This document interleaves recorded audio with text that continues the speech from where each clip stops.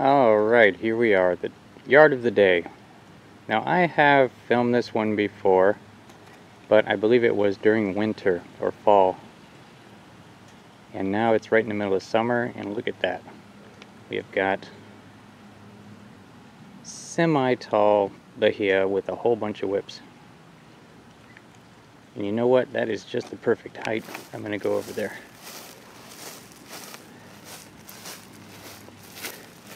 This is the perfect height to really throw some grass. Set up the tripod right about here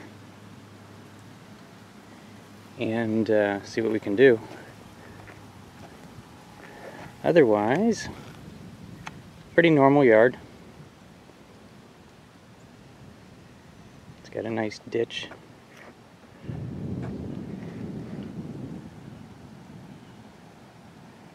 And um, another thick area over there.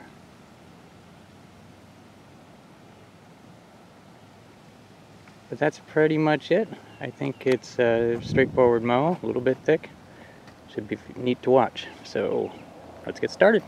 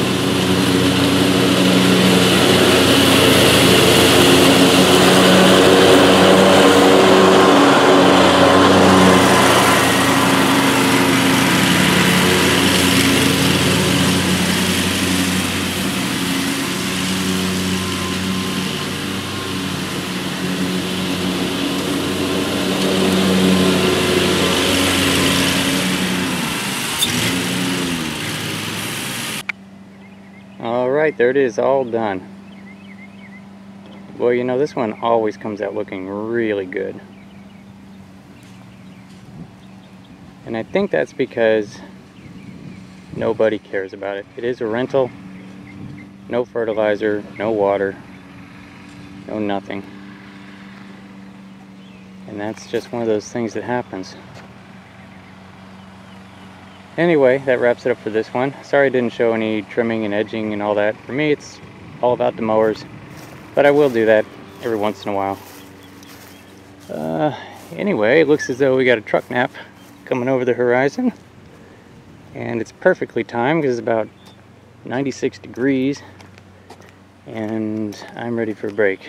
So anyway, thanks for watching everybody. See you next time.